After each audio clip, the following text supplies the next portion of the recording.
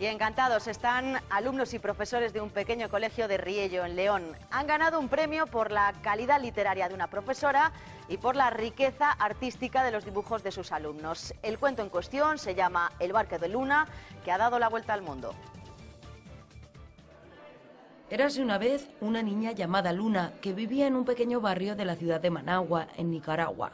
Así empieza la historia que ha sido galardonada entre más de 100 cuentos, pero si quieren conocer sus aventuras tendrán que leerla. Lo que sí podemos contarles es que está escrito por esta profesora de primaria del Colegio Riello, en León, e ilustrada por ellos. Llena de orgullo a un ayuntamiento pequeño de, de la montaña de León estar aquí en Madrid y poder compartir con con estos niños este, este momento tan importante. En clase tenemos, eh, tengo pequeños grandes escritores y que tenemos un taller de creación literaria y nos gusta inventar historias que de vez en cuando pues presentamos a concursos. Yo creo que con este premio es un honor estar aquí tal, porque pocas veces nuestro colegio ha ganado algo como un premio o algo así, venir aquí a Madrid y entonces estamos muy agradecidos.